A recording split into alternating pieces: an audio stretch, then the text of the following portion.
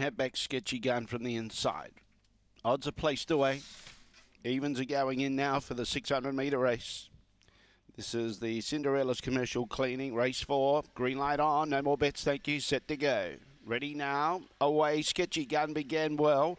On the outside, Motown Kenny's matching it. And just behind those on the inside, the Destini Laredo. Good dash by Premier Double. Goes up to Sketchy Gun. Now, Crackerjack Jake got across right behind them. Looks really dangerous. Follows the leader. Sketchy Gun leads away. Crackerjack Jake poised to pounce. Good Railer about to take the inside. Premier Double still there going forward. Goes to the lead. Crackerjack Jake running to trouble. Got onto the back of Sketchy Gun. Now, can Premier Double hold off now? First ever run over the 600. Leads by a length and a half. Coming again, Sketchy Gun. In front, Premier Double. Premier Double just in front of Sketchy Gun. Getting home for third was Motown Kenny. And for fourth, a photo between Crackerjack Jake and Destini Laredo.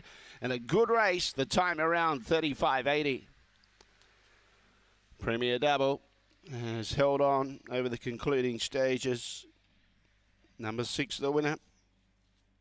Promised to be a, a, good race, even though it was a small field, and they didn't let us down. There was plenty of action. Six beats one. The time 35.80, 35.80. Nothing special about the time.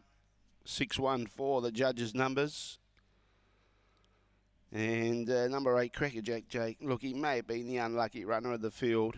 He just found trouble at the wrong time. He was trying to squeeze.